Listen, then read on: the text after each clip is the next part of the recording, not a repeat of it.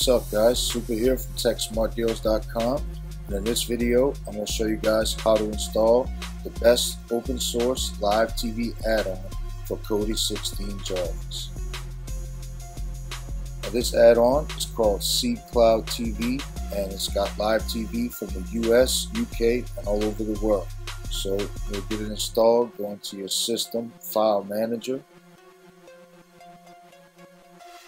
click on add source, then click on none, and type the source exactly as you see it on your screen. Then click on done when you're finished. Then click on the bottom and enter a name, erase what's there, and type whatever you like. Just make sure you put a dot at the front of it, and then press OK. And when you're done, you can click on the source and make sure you see some things inside of it like you see on your screen and make sure you added the source correctly. Then go back to the home screen and go into System Settings, Add-ons,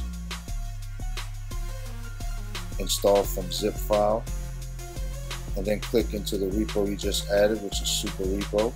Now click on All, click this one to add the Jarvis repo. And when you see this at the bottom right hand corner, you know the repo was added correctly. So then after that, just click up one to install from repository and then go into the super repo all Jarvis. And scroll all the way down to the video add-on section. Go into that and then scroll down until you find C Cloud TV. When you click on it, you'll be taken to this page. Just click on install and it will take a few seconds. And you may see a couple other packages installing as well if you're just getting add-ons installed onto Kodi for the first time. But as long as you see cCloud TV add-on enabled you know you did it correct. Then you can go back to the home screen and go into your video add-on section.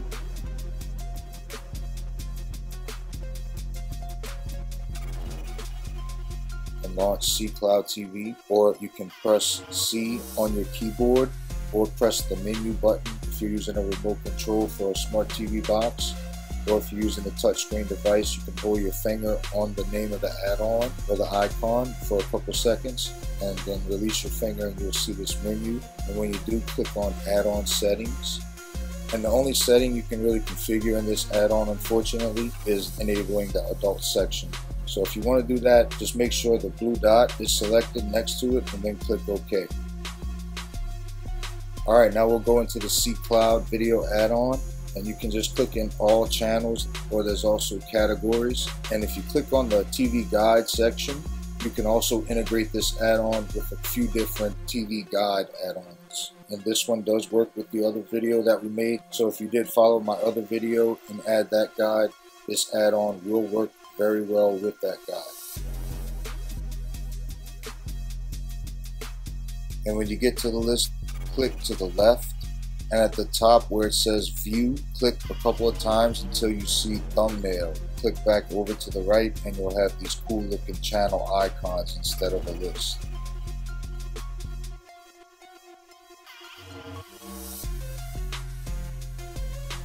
So I'm sure you guys will really enjoy this add-on. It's got all the most popular channels as you can see.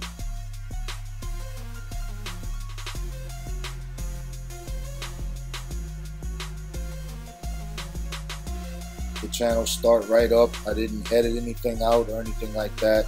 Whenever I clicked on them, they just started right up, no problem. I am using this version of Kodi on the Mac, so I'm not sure if that may have something to do with it, but I'm sure this add-on works the same on any device.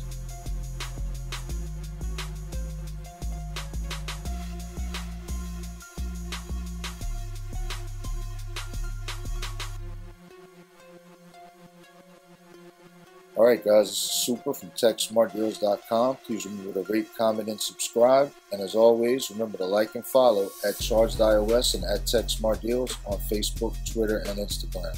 Thank you guys for watching. See you in the next one. Peace.